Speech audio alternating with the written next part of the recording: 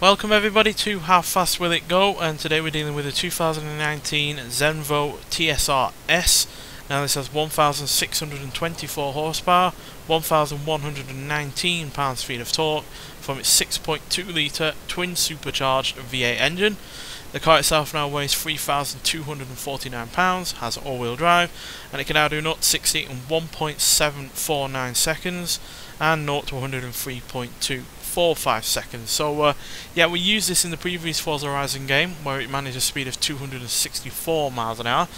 But not only do we have a longer uh, highway to deal with on this game, but we have 160 horsepower extra in this car. So I do believe this will be quicker. How much quicker, we'll have to see. But yeah, let's get out there and uh, find out. Also reduce the aerodynamic forces on that rear wing. So some of it's still there, but nowhere near as much, which will also help. Yeah, this is easily one of the most powerful uh, cars on this game, where its stock engine can get up to in terms of horsepower. Obviously, it was incredibly powerful to start with, but yeah, there we've passed the original car, the car in the previous game. So that's 272. We got up there remarkably quick, 273, and only waffled for a little bit, and we're already up to there. That's 273.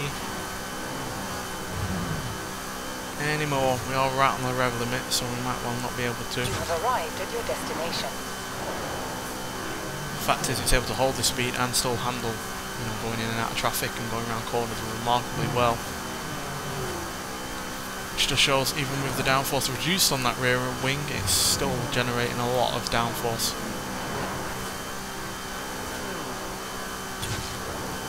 Imagine the kind of speed it would get up to if it was removed, but you can't do that, fast, sadly.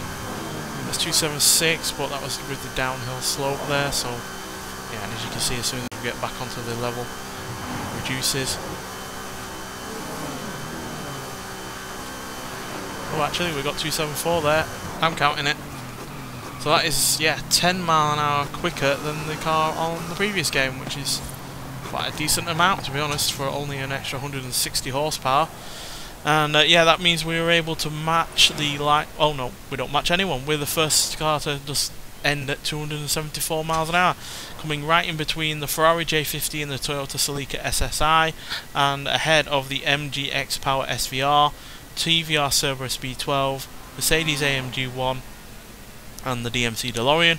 But we're still a massive 12 mile an hour behind the Jaguar D-Type, which is still at the top of the leaderboard and 10 mile an hour behind the McLaren F1 and 8 mile an hour behind the Noble M400 but still for a car that has you know that giant rear wing at the uh, back there and you know, decent sized splitter at the front that's a remarkable amount of speed. And uh, yeah obviously with more than 1600 horsepower that is kind of inevitable but you know you're still got to overcome the aerodynamic forces that are going on on this car. So uh, yeah, and it accelerates like a speeding bullet. Quite frankly, it was up to 270 miles an hour before we even before I even knew it. And uh, yeah, handles brilliantly, and that acceleration to 60 into 100 is mind blowing. Less than 1.7 and a half seconds, and uh, yeah, it's already up to 60 miles an hour, which is in incredible, quite frankly. So uh, yeah, that is a really really decent speed and gets it comfortably into the top 10. Only by a mile an hour, but there's not many cars that so far have gone quicker than this. So yeah, far more have gone slower. Nonetheless, thanks for watching, and I'll see you in the next one. Bye.